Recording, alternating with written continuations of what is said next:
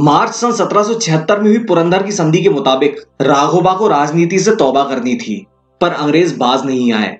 वो राघोबा को खुले तौर पर पनाह देते रहे।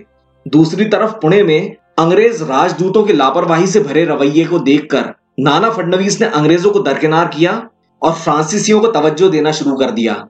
तो 16 साल बाद ऐसा लगने लगा था कि फ्रांस हिंदुस्तान की राजनीति में फिर से एक बार धमाकेदार वापसी करेगा। अब की बार फ्रांसीसियों को ये दो मज़बूत बाजू मिल गए थे, मराठे और मैसूर। इसका बहाना लेकर वॉरेन हेस्टिंग्स ने लंदन के कोर्ट ऑफ़ डायरेक्टर्स की हुक्म उदूली करते हुए मार्च सन 1778 में मराठों के खिलाफ युद्ध घोषित कर दिया।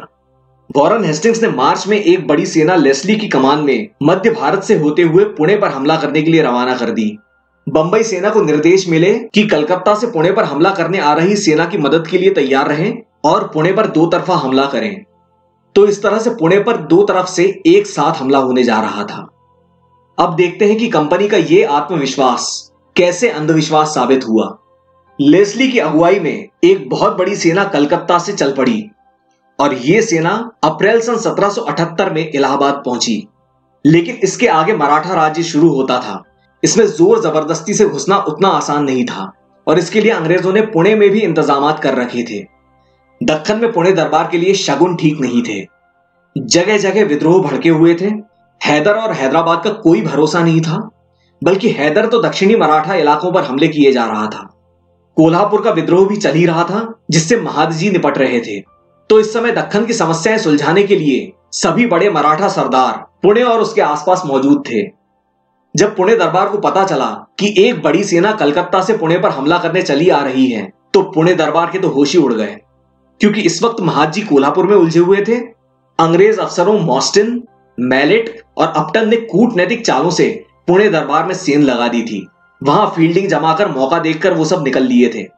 अब तक बारह भाई के बागी दरबारियों का एक तबका राघोबा का साथ देने लग गया था और बारह भाई में फूट पड़ चुकी थी। नाना फडनवीस के खिलाफ बगावत हो गई थी और पुणे में बारह भाई के बागी दरबारियों ने नाना फडनवीस को नजरबंद कर लिया था, ताकि कलकत्ता से आने वाली सेना जल्द से जल्द पुणे पहुँच सके और दूसरी तरफ़ बंबई की सेना के सहारे राघोबा पुणे पहुँच सके और फिर से पेशवा बनकर सबसे बदला ले सके। इस समय महाजी कोल्हापुर में व्यस्त थे, इसीलिए नाना फडनवीस को बचाने नहीं आ सकते थे। तो बारह भाई के इस बागी तबके ने, इन बागी दरबारियों ने कलकत्ता से इस आने वाली सेना को यमुना पार मराठा राज्य में घुसने की अनुमति भी दे दी। और नाना फडनवीस बेबस होकर कैद में से ये सब देखने को मजबूर थे। तो लेस्ली की ये बड़ी सेना अप्रैल सन 1778 में इलाहाबाद पहुँच चुकी थी और अब पुणे का इशारा मिलते ही लेस्ली मई में कालपी पहुँच गया और वहाँ से यमुना पार की। इस तरह से लेस्ली ने बुंदेलखंड में बिना रोक टोक अपना पहला कदम रखा। लेकिन इसी बीच अप्रैल सन 1778 के अंत तक महाद जी ने कोल्हापुर से घुटने टिकवा दिए थे और समझौता करवा लिया। अब हैदर अली के हमले से कम से कम पुणे और सातारा को तो कोई खतरा नहीं था। अप्रैल में कोल्हापुर का किस्सा निपटाकर, जुलाई में महाजी ने पुणे पहुंचकर, नाना फडनवीस को कैद से निकलवा लिया और सारे बागी दरबारियों को ठिकाने लगा दिया। इस तरह से महाद जी ने पुणे दरबार को एकजुट कर लिया। इस कठिन समय में महाजी सिंधिया की महत्वपूर्ण और निर्णायक भूमिका आप समझ ही रहे होंगे। इस दौरान पुणे दरबार का सौभाग्य ही था कि लेस्ली यमुना पार करने के बावजूद मई से अक्टूबर तक बुंदेलखंड में ही फंसा रहा, उससे आगे नहीं बढ़ पाया। चारे पानी की कमी और गर्मी की वजह से बुंदेलखंड में ही लेस्ली के पहिए जाम हो गए थे।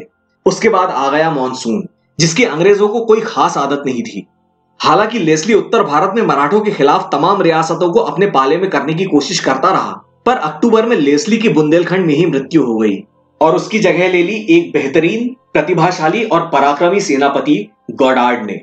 गॉडार्ड ने सारी मुसीबतों के बावजूद अपने काफिले को आगे बढ़ाया, लेकिन जब गॉडार्ड बुंदेलखंड पार करके होशंगाबाद के पास नर्मदा के किनारे पहुँचा तो नर्मदा पार करके बुरहानपुर का रास्ता खोलने में उसे कई समस्याएँ आईं।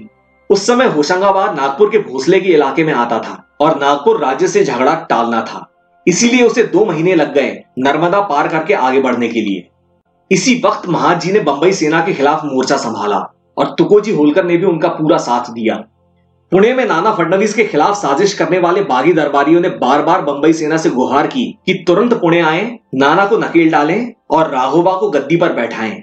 लेकिन अभी गौडाट को आने में कुछ महीने की देरी थी और ये भी चिंता थी कि कहीं गौडार्ड आकर हमसे जीत का सारा श्रेय न छीन ले, क्योंकि बंबई सेना को लगता था कि पुणे को तो हम एक ही हफ़्ते में जीत लेंगे। और पुणे में अंग्रेज़ों के खबरी बताते रहे कि राघोबा अगर जल्दी पुणे पहुँच जाता है तो स्थिति तुरंत बदल जाएगी और सब राघोबा का स्वागत करेंगे। लेकिन खबरियों की यह जानकारी बिल्कुल गलत थी। वो ये भूल गए थे कि अब पुणे में बाजी पलट चुकी थी और ऊपर से बागी दरबारियों का भी खात्मा हो गया था। तो पुणे के बागियों की बातों में आकर, उन सब के बुलावे पर मौका परस्ती और अपने जोशो जुनून में मजबूर होकर, बंबई की सेना ने गौडाट का इंतज़ार न करते हुए नवंबर के अंत में पुणे पर चढ़ाई कर दी। पर जब राघोबा को लेकर यह बंबई सेना पनवेल के रास्ते भोर घाट खंडाला घाट चढ़ने लगी तो उसको नाना नानी दोनों याद आ गए। जब घाट चढ़कर ऊपर आ चुके तो पता चला कि महाद जी ने बंबई सेना का घाट उतरकर बंबई वापस जाने का रास्ता घाट के नीचे मैदानों में काट दिया है। तो बंबई जाने का रास्ता बंद हो चुका था और घाट के ऊपर पठार पे मराठों द्वारा स्कॉर्च अर्थ तकनीक का इस्तेमाल किया जा रहा था। यानी आपको चारा, पानी, रसद, खाना कुछ नहीं मिलेगा। जहरीले नदी तालाब, ज़मीन उजाड़, धरती आसमान दोनों सयाद जाए तो जाए कहा? ऊपर से मराठों के रात दिन के छापे इन सबसे बंबई सेना बदहाल हो गई। इस समय राघोबा भी इस सेना के साथ था, पर उसकी काबिलियत उसके साथ नहीं थी। दिसंबर में वहाँ गौडार्ड नर्मदा पार कर रहा था और यहाँ पूना से पंद्रह मील दूर बंबई की सेना में हाय हाय मची हुई थी त्राही त्राही मची हुई थी। आखिर सन सत्रह में बंबई सेना ने हार कर उसी 14 जनवरी के दिन हथियार डाल दिए, जिससे ठीक 18 साल पहले पानीपत में मराठों की दुर्गति हुई थी। और इस समय बंबई सेना का हशर करने वाले वही महाजी शिंदे थे जिन्होंने पानीपत में अपनी जान बचाकर वड़गांव के इस युद्ध में बंबई सेना की जान खतरे में डाल दी थी। दिसंबर सन 1778 और जनवरी सन सत्रह के दरमियान हुआ, ये वड़गांव का युद्ध अंग्रेज़ हार चुके थे। तो जनवरी सन सत्रह में वड़गांव की संधि हुई। असल में संधि न होकर एक समझौता कहलाया। इसकी कई शर्तों में से एक शर्त यह भी थी कि गौडाट की जो सेना भारत पार करके पुणे पर हमला करने आ रही थी, उसे ससम्मान रास्ते से ही कलकत्ता वापस लौटा दिया जाए। राघोबा को पुणे दरबार के हवाले कर दिया गया। इस तरह से वड़गांव में हार कर बंबई सेना भारी नुकसान उठाकर मुँह लटकाकर घर वापस लौट आई। ये था पहला भोरघाट अभियान, पूरी तरह से असफल। जनवरी में जब गौडाट नर्मदा पार करके गिरता पड़ता बुरहानपुर पहुँचा तो उसे यह वड़गांव की बुरी खबर मिली। गौडाट का इरादा तो यह था कि बुरहानपुर से औरंगाबाद होते हुए पुणे पर हमला किया जाए, जिसमें शायद निज़ाम भी उसका साथ दे देता। पर बंबई के बचपने की वजह से अब इस प्लान का कोई मतलब नहीं रह गया था। तो गौडार्ड ने समझदारी दिखाते हुए पुणे की जगह सूरत का रास्ता पकड़ लिया और फरवरी के अंत तक सूरत पहुँचा ताकि वहाँ से बंबई जाकर नए सिरे से जंग की जा सके। लेकिन गौडार्ड ने जाने अनजाने में एक ऐसा काम कर दिखाया था, जो इतिहास में पहले भी कभी नहीं हुआ था और उसके बाद भी कभी नहीं हुआ। यानी कलकत्ता से बंबई पूरे भारत को सारी फौज के साथ, सारे साज सामान के साथ ज़मीन के रास्ते पार किया। और ऐसा कर पाना आज की तारीख में भी काफ़ी कठिन है। इसी से समझा जा सकता है कि गौडार्ड किस श्रेणी का सेनापति रहा होगा। दूसरी ओर बंबई के सेनापति एगर्टन और कॉकबर्न को उनकी नाकामयाबी के लिए और उनके बचपने के लिए बर्खास्त कर दिया गया। उधर पुणे में फरवरी में ऐसा तय किया गया था कि राघोबा को झांसी की जागीर दे दी जाएगी, जहाँ से वो अपना गुजर बसर करता रहेगा, पर पुणे दरबार और केंद्र में राजनीति से दूर रहेगा। लेकिन ये सब उतना आसान नहीं था।